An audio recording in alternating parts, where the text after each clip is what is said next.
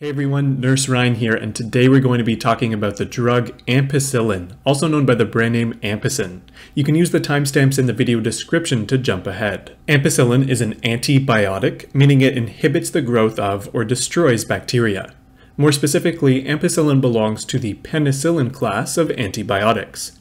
Before we get into how penicillins work, let's very quickly review two different types of cells. Bacteria are single-celled or unicellular organisms that can cause disease, and often look something like this. As you can see, bacteria have cell walls and cell membranes. This makes them different from human cells, which only have cell membranes but lack cell walls. So the way that penicillins work is by inhibiting cell wall synthesis in susceptible bacteria, basically preventing the bacteria from growing their cell walls. And without a cell wall, bacterial cells become very vulnerable and quickly die off. This way, penicillins do not affect regular human cells like blood cells, muscle cells, etc., but only bacterial cells. Some bacteria are not susceptible to antibiotics like penicillin, or you can say that they are resistant to penicillin, and we'll talk a little bit more about that resistance in a bit.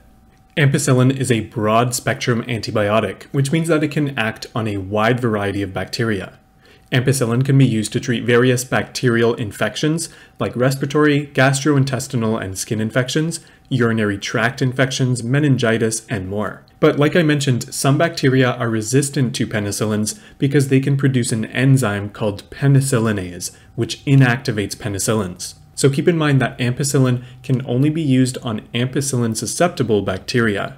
However, ampicillin can be combined with other antibiotics to help combat penicillinase, dicloxacillin being one example. Examples of genera or types of bacteria that ampicillin can treat include Enterococcus, Staphylococcus, Enterobacterales like E. coli, and many more.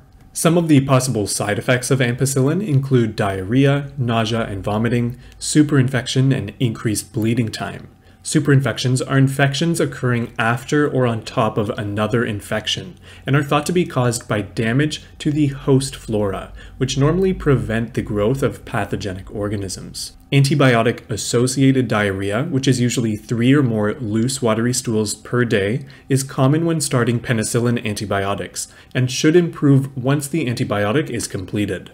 About 1 to 10% of people report allergic reactions to penicillin, commonly skin rashes, and anaphylactic reactions occur in approximately 0.01 to 0.05% of clients. Do not use ampicillin in those with a penicillin allergy. Use cautiously in those with low creatinine clearance or liver disease, as ampicillin dose may need to be decreased to accommodate for poor drug elimination. Elderly clients may also require lower dosing. Also, do not use ampicillin in clients with infectious mononucleosis, commonly called mono. Always remember to assess and monitor for side effects of ampicillin. Teach clients to complete the full course of therapy, usually 10 to 14 days, even if symptoms improve. Due to the common side effect of diarrhea, remember to increase fluid intake while taking ampicillin to prevent dehydration. If a severe allergic reaction occurs, epinephrine alongside antihistamines and corticosteroids are often administered for treatment of anaphylaxis. Ampicillin is available orally, intramuscularly, and intravenously. Dosing varies greatly, but for adults it can be approximately 250 to 500 milligrams every 6 hours orally. Lastly, always watch for drug-to-drug -drug interactions with ampicillin.